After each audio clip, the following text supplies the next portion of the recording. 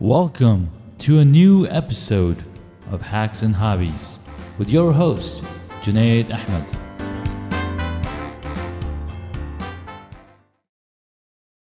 It's been a while since I've posted any episodes.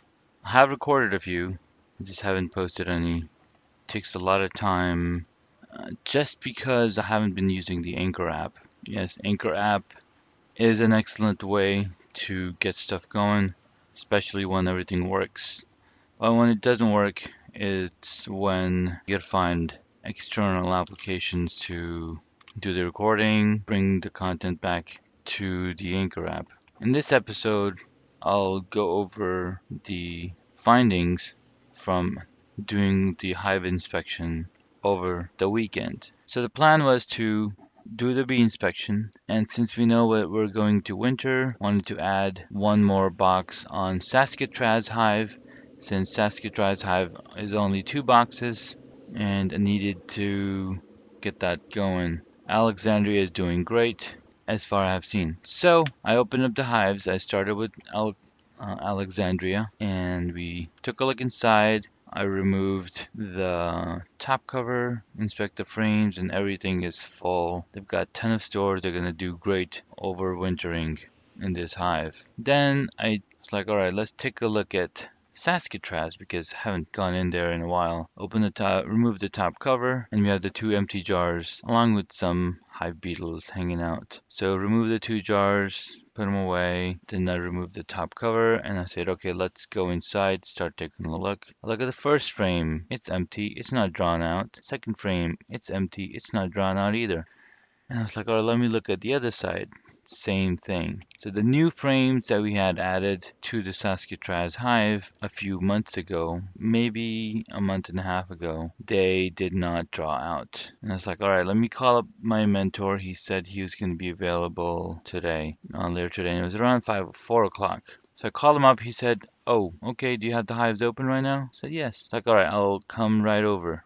So he came over, he started going through the frames and they're all empty and he's like, yeah, looking at this brood pattern, they have not been getting enough food to be sustaining a growth and be able to draw out these frames. So you need to be feeding them, you need to be feeding them constantly making sure that they're getting enough food and it's going on pretty good. So starting off looking at the hives, my mentor mentioned these Saskatraz bees are not getting enough food, and that is one of the reasons we have we don't see the brood stores uh, the way that it should be. They're they're spotty brood. The queen bee's not getting enough food. These guys are not getting enough food. They're not drawing on the frames because they're not getting enough food. And the reason it's called summer dearth is because there's not enough flowers, not enough pollen to go around. Plus, these are foreign bees in in one respect. So I'm not sure how this hive is going to survive, but we're going to do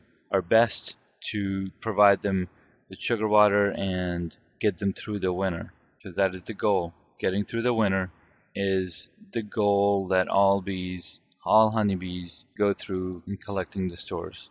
So there, so we put top hive feeder on both Alexandria and Saskatraz. That's the other reason I was not able to I was not able to provide consistent food every week because I was using quart jars. Quart jars is a pain.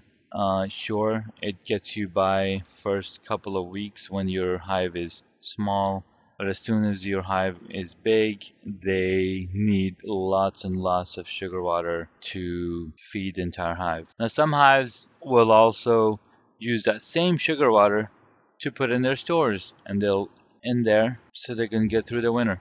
So this time around, I was uh, recommended to use top hive feeder that can store up to four gallons of water. It can store up to four gallons of sugar water, two to one sugar water, one to one sugar water, whichever it is. This can handle it. Plus, it has a built-in screen to keep the bees from coming up and drowning themselves in these pools of sugar water. So I've installed two top hive uh, feeders for both my hives to help them sustain and create stores. The other thing that I did for that we did on the Alexandria hive since it is a very strong hive. I put 10 empty frames, uh, 10 medium empty frames on top of the rest of their hive and get them to draw them out. Since we're giving them two and a half gallons of sugar water, and I'll be doing this every week till some till winter comes in, they will have plenty of food to go through and um, build these build out these frames. And then when uh, winter is close, I can move these stores over to Saskatraz, and Saskatraz will have plenty of stores to get through the winter as well. So that is the goal. We're, we're getting both the colonies working hard and drawing out these frames and storing the stores in there and um, let's see what happens. So that's what we did over the weekend. Getting back into the swing of things. I'll be I'll continue educating you about beekeeping and beehives and talking about the different diseases and um, what what to expect the first year, what to expect the next year. So stick around. Thanks again for listening and tuning in to Hacks and Hobbies.